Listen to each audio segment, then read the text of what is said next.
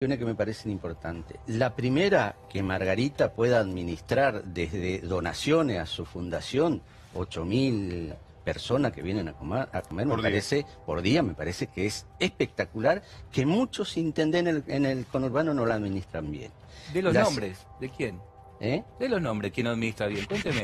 Porque si atacamos así alegremente... Pues digo de que los algunos nombres, ¿quién- qué admi- intendentes- Es porque lo- la verdad le está haciendo un flaco favor a la gobernadora. Los intendentes del conurbano, de todos los partidos políticos, como decía Doman, Están sosteniendo la ponemos fortunas Sí. en alimentos. Y Fortunas, mucho más la de lo que pone la nación y la provincia. y bien. ponemos de 30 días que anda un patrulero, 25 na- nafta la ponemos Me nosotros.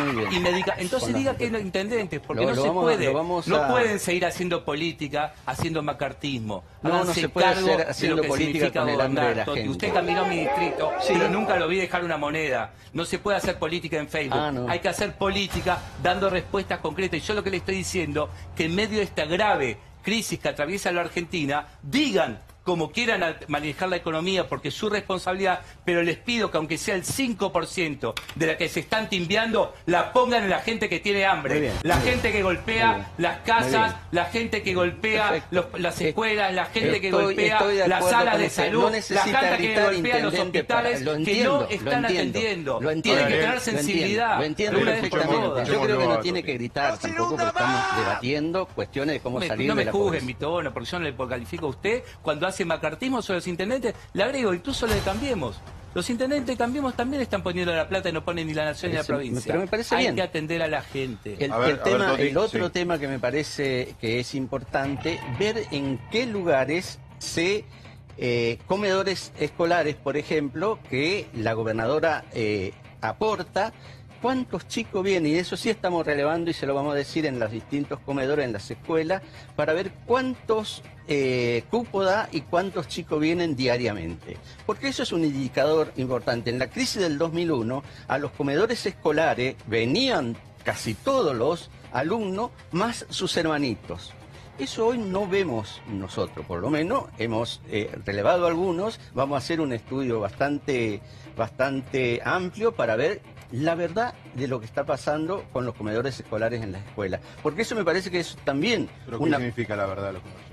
que hay cupos que hay veces no lo utilizan los niños que van a esa escuela. ¿Qué sé yo? Una escuela que tiene 300 cupos, nosotros hemos ido donde había 70 niños comiendo y hemos hecho un acta, qué sé yo, pero queremos revelar más, eh, relevar más. Así que también en ese sentido. ¿Por qué?